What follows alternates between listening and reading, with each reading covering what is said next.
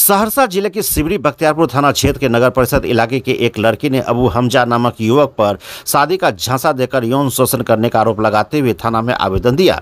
वहीं पीड़िता लड़की ने बताया कि उनके ममेरे भाई के दोस्त अबू हमजा, पिता मोहम्मद शमशेर आलम उनके यहाँ आता जाता था। इसी दौरान बातचीत होने लगी, जिसके बाद आरोपी हमू हमजा द्वारा शादी करने का वादा किया गया, जिसके बाद फ़ोन पर लगातार एक वर्ष से घंटों घंटा बातचीत होने लगा। बातचीत के दौरान आरोपी युवक अबू हमजा अक्सर एक दूसरे जगह मिलने बुलाता था, जब युवती वहाँ पहुँचती थी तो आरोपी अबू हमजा उस लड़की के साथ शोषण करने लगता था। वहीं युवती ने बताया कि मुझे अप्रैल महीने में भी एक होटल में मुझे बुलाया और शोषण करने के बाद युवती का मोबाइल को आरोपी अबू हमजा ने चुपके से लेकर सारे सबूत को डिलीट कर दिया। जिसके बाद अब आरोपी अबू हमजा ने युवती को बताया कि अब हम तुमसे शादी नहीं करेंगे।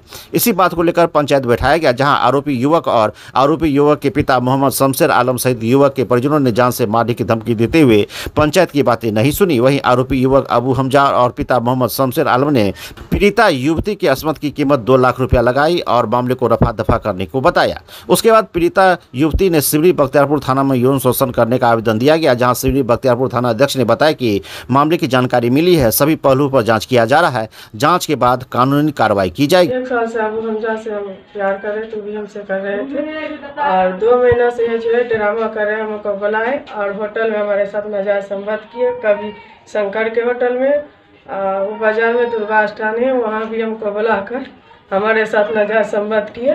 फिर दूसरा बात, अगला महीना में बुलाए और हमारे साथ नाजायज संबंध किए, और हमारे मोबाइल में जो उनका प्रूफ वगैरह था, वो सारा उड़ा दिया और बोले, जाओ, तुमसे शादी वगैरह नहीं करेंगे, जो करना है कर लो। तो हम उनके घर पर गए, उनका घर वाला हमको मारा, चूरा, भगाया। इस बात लेकर हम समाज में बैठे, समाज को भी वो बात नहीं मानी। थाना गए थाना भी सुनवाई कुछ नहीं हुआ। अब वो इंसान हमको दो लाख रुपया देकर कह रहा है बात को ख़त्म करो आगे मत बढ़ाओ। इसीलिए हम आप लोग के पास आए हमको इंसाफ चाहिए। मेरा ज़िंदगी बर्बाद कर कर रोड पर लाकर वो लड़का छोड़ दिया हम कहीं के नहीं लड़का कौन है? कहाँ के रहने वाले? सिंगी बख्तियारीपुर उनका घर है। नाम उनका अबू हमजा वार्ड नंबर चौदह में रहते हैं। उसके पिता का नाम?